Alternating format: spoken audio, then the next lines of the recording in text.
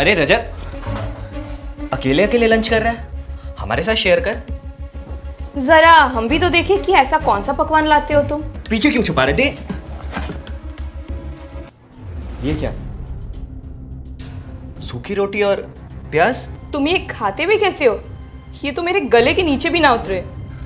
Madam हमें भी ये खाने का शौक नहीं है। मजबूरी है। मेरे घर परिवार की ज़िम्मेदारी मुझ पे ही है। सात हज़ार रुपये घर में देते हैं। एक हज़ार रुपये छोटी सी खोली का किराया है। पाँच सात सौ आने जाने में खर्च हो जाते हैं। और बाकी जो बचता है उसे पूरे महीने का गुजारा करना पड़ता है। ये लोग तो पंद्रह सौ रुपये पिज़्ज़ा खाने में खर्च कर देते हैं। तुम महीना भर के गुजारा कैसे करते हो? मैडम कभी पानी पी के सो जाता हूँ तो कभी भूखे पेट। सॉरी यार। सर आप क्यों सॉरी कह रहे हैं? दोष तो मेरी किस्मत का है। आज के बाद तुम हमेशा हमारे साथ लंच किया करोगे।